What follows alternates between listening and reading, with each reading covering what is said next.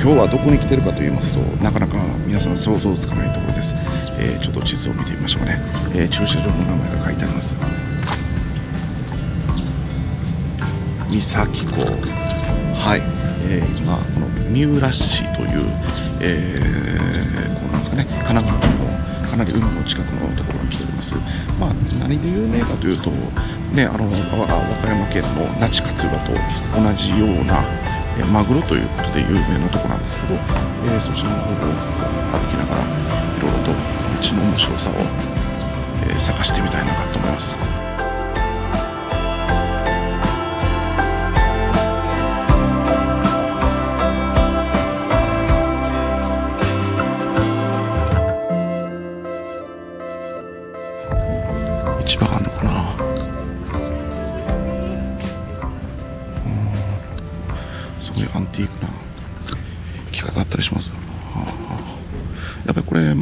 漁船があるとこうなんて機械あの機械の産業というかあのそのどういうふうにするかとあロマグロ中トロ丼とか、まあ、まだ準備中ですけど。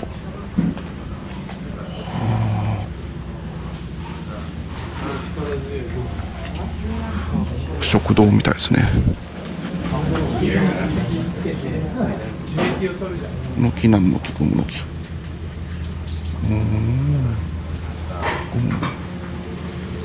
のきくむのき。うん。店もありますねすごくいい感じの中でこれはマグロがこしてありますね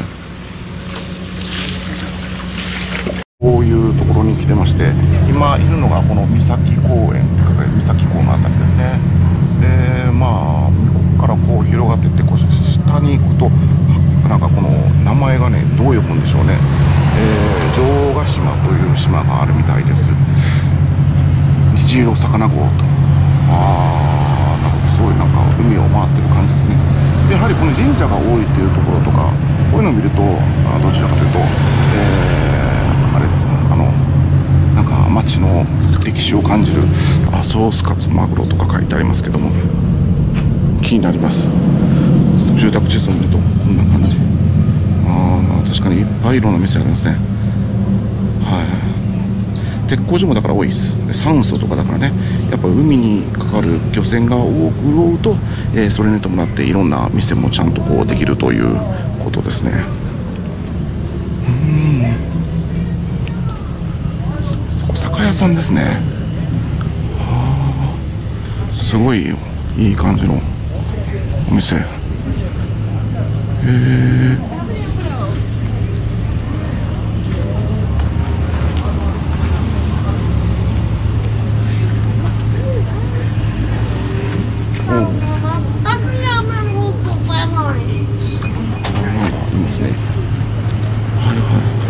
三浦余市ああこっちもこんな感じでにぎわってる通りです。お昼ご飯はもうマグロ。こっち切るとあ神社ですね。海南神社って書いてあった神社があって非常にさ暑いんですけど心地よく。あこれバル。あこれもなんかいい感じのお店ですね。スタッフ募集って書いて移住促進というふうに書いてあやばいですね。来ました。これが喫茶店。トエム。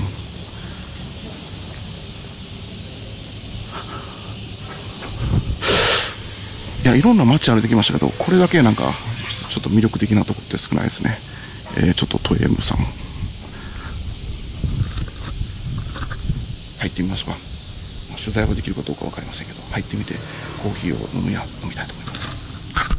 はい。あえマスターですか？あ、マスターあ、今こちらの方の喫茶店の中入りまして、えこの観光ガイドブックを、この地図の方を見せて、これはどういう地図です？これはですね、えっ、ー、と、街を楽しく回ってもらおうっていう地図でして。これサイコロ振ったら回れるみたいな。そうですね。今こちらの方がここのトエムさん、はい、トエムですね。でこちらの方が海南神社。あでここからこうは見てみたら昭和風情とかやはりちょっと今日見て、まあ、ちょっとみちょっとしか歩いてないですけど、はい。やっぱりなんかこの、ま、ここはマグロが有名なもともとそうですね。昭和30年代ピークにはい。マグロが一番栄えてた港なんですけど、はい。まあ、その頃に建てられた建物が再開発されずにいっぱい残っているので。ああじゃあそこのところ今だって若い人たちとかがいろんなまあ店やったりとか、ええ。若い人だけじゃないかもしれませんけど、はい老舗もありまして。今のだって酒井さんがさっきやったの泊まれるんですか？あそこ僕も今いたんですけど、はい。奥が、はい。えー酒蔵を改装した宿になってまして。はあなんかもうもう入った瞬間からあみ前見た瞬間から犬いましたけどあそうです。ごいなんか看板犬の子がいおしゃれな感じので実はここのお宿さんがもう一個古民家を改装して、はい。えーとですね、場所的にはこのポパイ。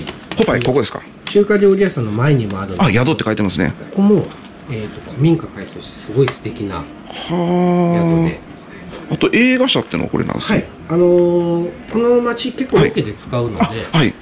一応この誘致してる方々あの会社が。ああのフィルムコミッション的な感じのところですね。ね。ああなるほどわかりました。もうこう全部回ってもらうとはい。なんでしょうこの町全体がよく生き残ってんなっていうぐらいみんな頑張ってる町なので。ああそうですか。この町自体がマグロも有名なんですけど実は町が僕は財産だと思ってるので。はい実は、えー取れなかったところが多かったんですけどすごい熱い松さでした、えーこちらの方をまあねあのライダー割引もともとライダーで、えーこちらの方じゃなかったんですけどもここを借り受けて今喫茶店をされて街の中のことで先ほどの地図の方も実は彼がここで作ってるということですね。さあちょっと神社の方にも行ってみましょうか。まあ、彼自身はやっぱりこの町を、ま、どういったですかねあのマグロだけじゃないと。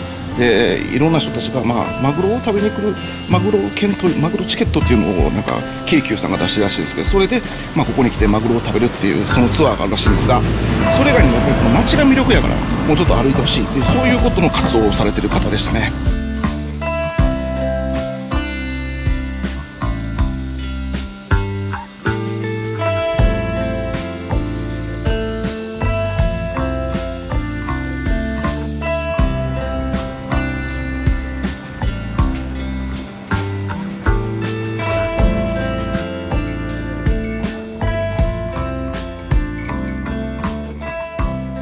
えちょっと今おしゃれなここのとこいたらあのオーナーがいらっしゃったんで、えーちょっとお話を聞こうと思うんですけどここはどうどういうおお店なんですか？はい。あ、えっと RSD ビレッジの澤田と申します。ここはあの三崎あの美味しい食べ物屋さんが多い港町なので、であのそこに宿泊所がちょっと少ないので、こういう形でゲストハウスみたいな形で提案してみました。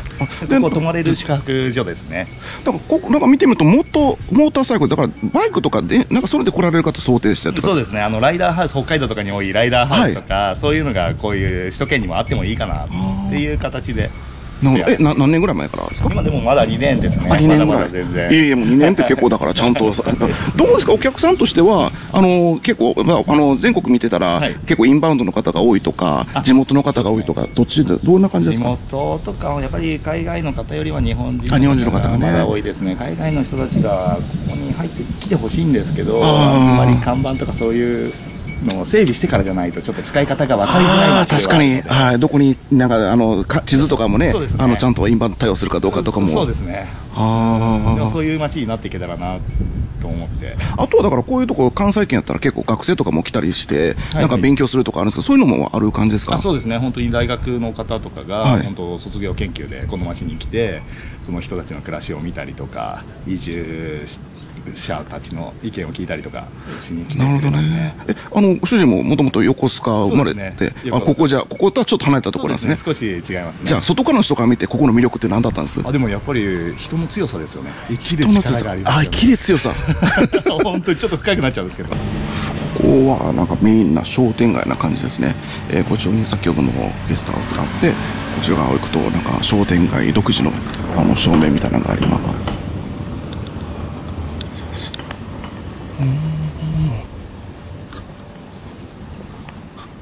まあちょっとシャッター街的な、まあ今日今日がこれは、えー土曜日だからかもしれませんけど、まあそれはあるのかも。ただまあ、住まれてはいる感じですね。はっぱりこうあまた上の方にもすごくいい感じで。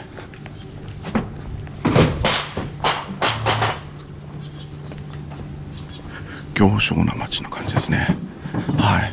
あの本当の商店でもなんかあそこ並んでますね。ちょっと行ってみますか。あさっき言ったポパイはこれですね。中華料理ポパイ。うーん。なんかここもなんかすごいですね。ゲストハウスになろうとしてるんでしょうか。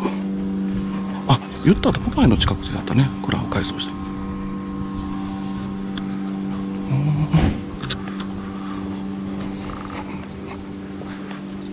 感じですね。えここにフィルムコミッションミュージアムがあります。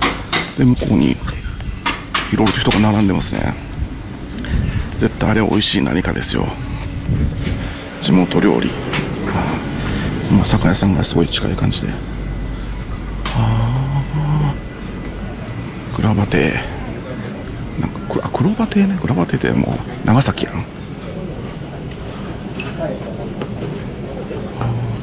マグロ切符。あここ待合がある。こんな感じで。マグロ料理ですね。この町もこう並んでる感じです。居酒屋音曲。あでもまあスナックさんというよりは普通のお店かな。はい。先ほど言った三浦映画社さんですね。フィルムコミッションもあるんですけどもこちらがもう何か頑張っておられる感じのところがありますはい暑いですねちょっといっぱい過ぎたんで入りませんでしたが。それで遊んだこともありますし商店街おシューマイ。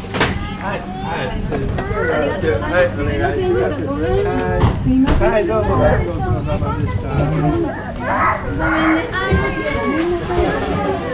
すごいですねこの広告。ユニバーサル広告社。企画広告何でもやりますですね。タバコ屋さんですね昔ねきっと。鮮魚店。あれ？今はもう鮮魚店じゃない感じですね。出版社をされこちらでやってると、でなぜここのここでされてるんですか？あでままず場所がこれ本いっぱいありますけど、そうですね。本が大体5000冊ぐらいあって、はいえーとまあ、私たち夫婦で出版社をやってて、はい。それで買いためてきた本とここができてから結構全国から本が送られてきて、はい。まあ、こう本とタムロになんかこうここ本とタムロってお店なんですけど、はい。あの割とこう例えば「ポパイ」の創刊号とかこうなんかブックオフに出したら二足三門になっちゃうけどすごい価値のある本ってあるじゃないはいはいありますああいうのを結構全国から皆さん送ってくださって今それを、う んこんな感じで自由にお金を払わなくてもどなたでも本が読める場所として、まあ、一応出版社としてやってるって感じ。ああもうでもまたちょっと一つ思うのは出版社ってほら基本、えっと、いろんな情報と近いところにいな行けないような仕事だから、まあここやったら神奈川だったり横須賀であったり横浜だったりすると思うんですけど。だからなんかやっぱ聞かれるのがやっぱはい。出版社だったらそれこそ神保町とか、はい。やっぱこう情報が集まるところにいた方がいいんじゃないのっていう声もあるんですけど、まあ東京まで60分ぐらいなのでで東京の本当5分の1ぐらいの家賃で住めてすごいこのお店もできて出版の在庫も管理できて、まあ、家も広くてみたいな場所でそここあに引っ越してきたからといって東京と縁遠くなったわけでもなくて。あはいまあ、週23ぐらいは東京にもちょっと仕事で行ったりしつつ、はいまあまあ適度な距離感で付き合える場所はまあその意味ではあのそんなにあのいてたらそんな遠くないという感むしろ結構合理的な判断だったかなってあー。えーお昼の時間になってきましたんでマグロ丼をいただこうと思います。こちらが、えー海南神社の手前にあります。値段がありますけどかなりリーズナブルなような気がしますけども。はいちょっと寄ってみようと思います。ここのマグロ漬け丼は、あのなんかこだわりとかちょっとこういうのいいのってとかあります？あのですね、別にここだわりっていうか、まああのーまあ、これは三崎の市場で僕が買い付けしてるんですけど、もともとあのマグロの卸なんで、で、えーそんないいマグロっていうよりも、食べて美味しいマグロって感じでであの漬け丼に合うようにああなるほど。な魚を飼ってるんです、はい。うん、でまあちょっとあの扱いがもうちょっとあれなんですけど要するに少しそれで1日2日寝かせるんですね、はでそういう感じで提供してるんです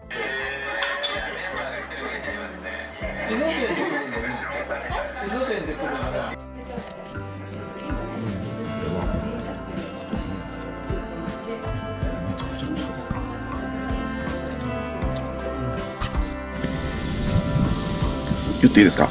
控えめに言ってめちゃくちゃ美味しかったです。えー、控えめに言ってですよ。まあということでえっ、と今回のえー、どういったですかね。